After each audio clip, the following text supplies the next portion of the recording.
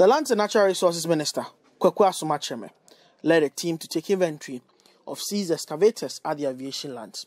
He indicated he had caused the arrest of one person for the stealing of excavators, but addressing the press in Parliament, the minority indicated that it is worrying government is still flouting the law governing such seized items. Yesterday, we listened to the Minister for Lands and Natural Resources, and he had indicated that eight of these excavators that were brought to Accra for safekeeping have gotten missing.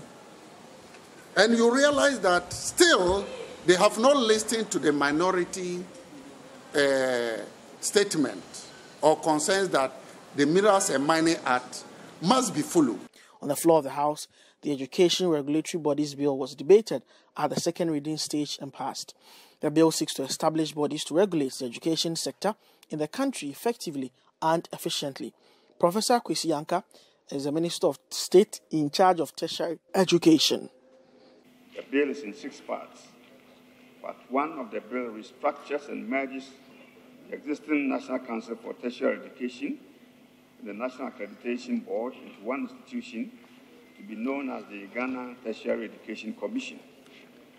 Part two of the bill merges the Council for Technical and Vocational Education and Training and the National Board for Professional and Technician Examinations into a new body to be known as the Commission for Technical and Vocational Education and Training. Others contributed to the bill. I'm glad that we'll bring the NVTI, NABPTEX, COTVET together under this bill. And what is more important, the institutions should be made. All of them under our great health, all of them should be brought under this body and they should be given full powers to regulate uh, technical uh, institutes in this country because really that is the game changer for job creation in our country. All this marketing, business, grammar type education, it does not provide jobs for the youth as, as it should. We need the hands on education to become an industrialized nation. Reporting for Citi News from Parliament, my name is Duke Mensah Opoku.